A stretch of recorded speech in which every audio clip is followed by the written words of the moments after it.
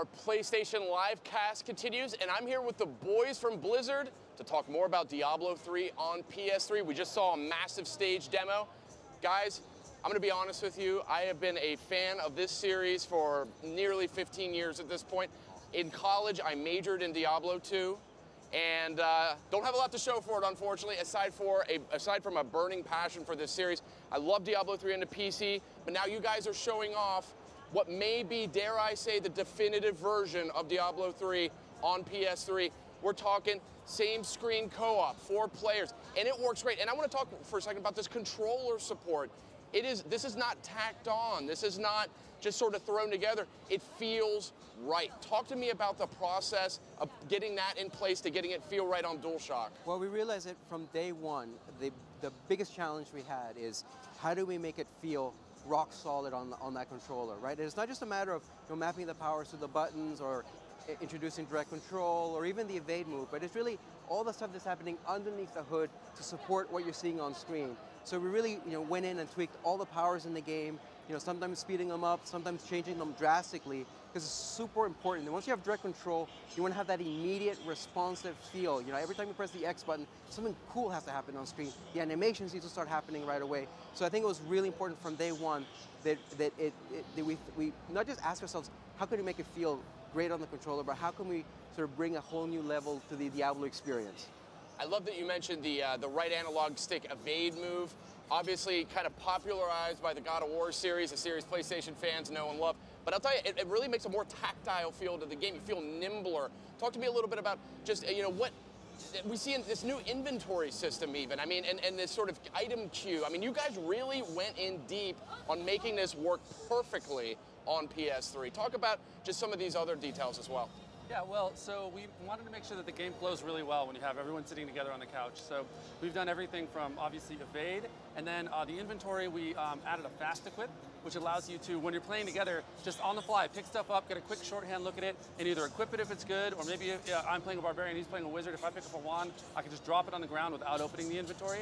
Um, and on top of that, we even uh, streamline the items so that when you're at higher levels, we drop fewer items that we don't think you're going to need, and we target all of the items for you. So the chances of a barbarian fighting an item that has strength, which the barbarian really needs, are very, very high. Ah, that's cool. Sort of a just a refinement and a, and a, sort of simplification here for, but but not losing any of that depth. That's the other thing. No, I would right. say uh, it's not so much a simplification, but a streamlining. Yes. You really want to make sure we we keep true yep. to the essential core of Diablo 3. And I've played this thing. We had, I, we were down at your offices a little while ago. We had a four-player match going, just as a testament to how addictive this game is. We were sitting there doing same-screen co-op, and I mean, it was like people were like, "Okay, we got, we got to, we have other matters to attend to here." We were like, "Just another minute, just another minute." It's a lot of fun. It's a great game, and you guys are also, of course, supporting full online play in addition to just the couch co-op. And talk a little bit about that. We're gonna be able to mix and match Totally. And I think that's a really important point to make. I know we're talking a lot about how awesome it feels to play with four players on the same couch, but we support uh, four players in any combination. So awesome. the three of us can be playing on the same couch, and we have a, you know, our, you know, our friend in Irvine. We can ask him to join in online, and you know, when you're joining when you're joining a game online, you're not tethered to the same screen. You can go anywhere you want and stuff like that. But really important that we really support, you know, whatever combination of players, local and offline. Another thing I want to point online. out here too is, you know, I mean, PS3 is in its seventh year.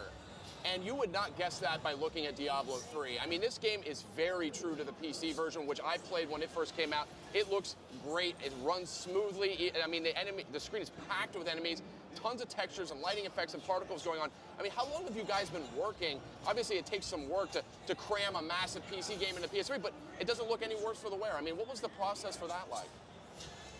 Well, we had people working on it from a technical standpoint uh, early on, even while we were working on PC. Uh, so we, they laid the groundwork with the engine, making sure that everything we did in the PC was available to us on console so that we could make the game work around the controller and around the couch. So we had everything we needed. Um, and then, of course, since PC is launched, we've benefited from everything they've done. We have a lot of their updates, we have all their tuning. So we know a lot because we have a lot of people, millions of people have been playing Diablo for months. And so we have, actually it's over a year now.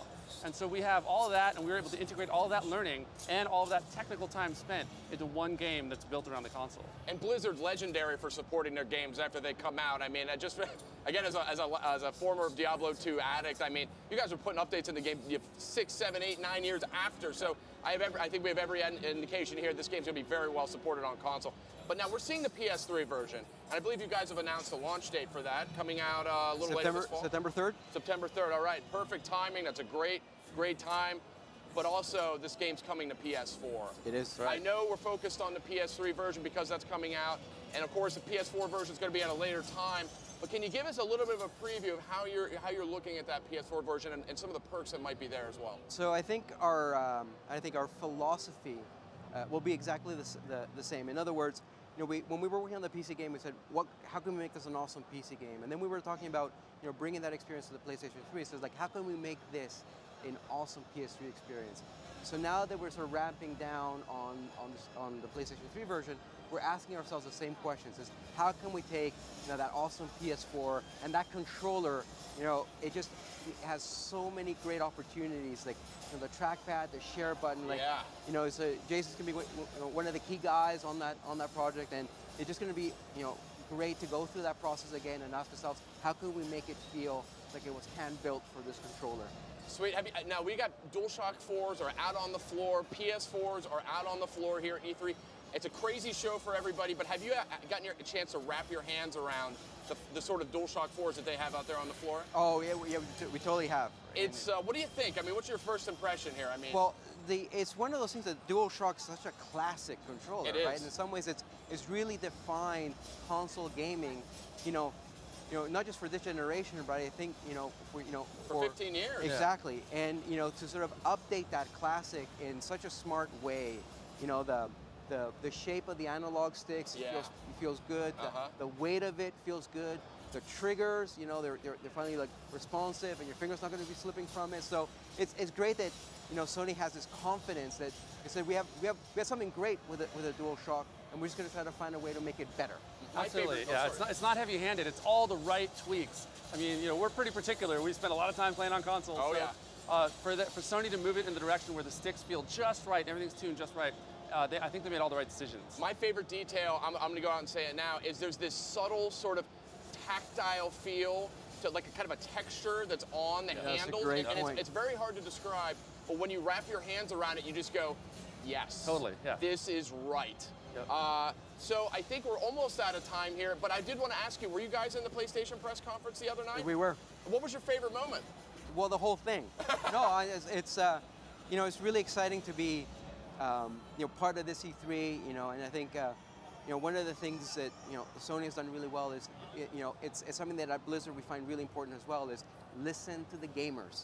You know, at Blizzard we have this thing where gameplay first, and you know, we understand that we're making these games, we're making these these epic experiences for the gamers, right? And to see, you know, Sony sort of really, you know, come out and say like, we're making a gaming console. It does all this awesome stuff too, but it's a gaming console. Yeah. I'm like, yes. Yeah, and speaking of which, you actually have uh, some exclusive content you're providing for the PlayStation versions of the game too. Can you just give us a quick kind of high-level glimpse of what Yeah, that's totally. be? And uh, Jason's one of the guys that sort of came up with a lot of these ideas, so let him. Yeah, how'd you choose? I mean, Well, it, it was tough because we had a lot to pick from, but uh, so we did, of course. Uh, we, we had to pick a couple of our favorites. So we went Drake's amulet, which is one of the one of the um, amulets you can get in the game early on. Uh, that's an ode to the Drake's Fortune series. And then um, we also have one from one of my very favorite games of all time, Journey.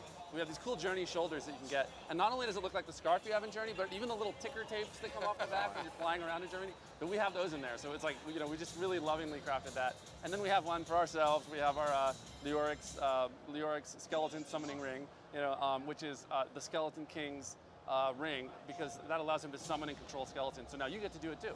All right, and uh, these are these are really powerful items too. I mean, obviously in a game like Diablo 3, you're getting new loot, you're getting this, you're getting that, you're throwing out old stuff, you're selling it.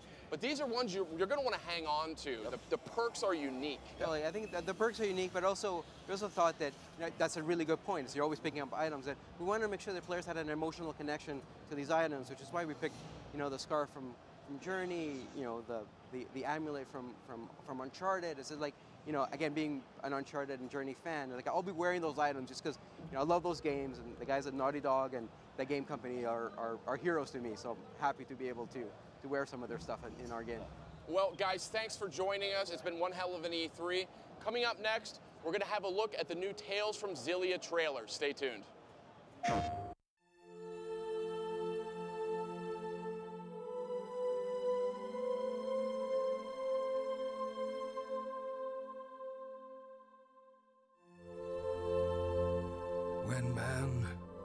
Spirit coexist, dreams and wishes are fulfilled. The spirits have the power to bring man's wishes to fruition, and in turn, those wishes preserve and protect the spirit's livelihood.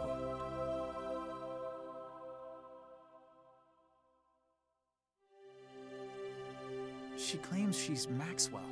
She's supposed to be the spirit Maxwell? You gotta be kidding me. What in the world would a spirit like that be trying to destroy? When someone uses a Spyrix, spirits die. I know he must be stopped. I know I must help stop him.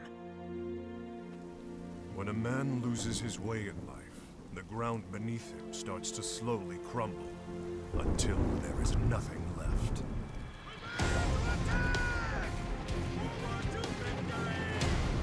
I can no longer obey the king. He uses his own people as pawns. What are we waiting for? We have to save those citizens. Your mettle is inspiring. All right then, hold on tight. No one in this world is more worthy to sit upon this throne than I. Spirits protecting humans. That is quite an interesting tale.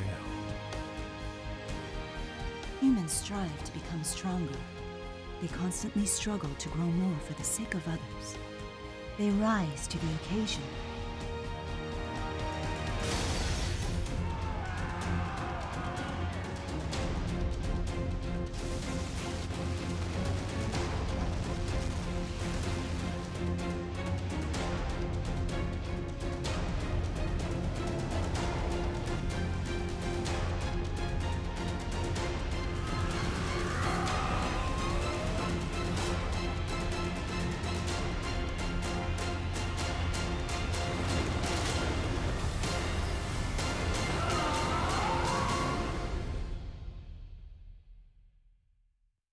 PlayStation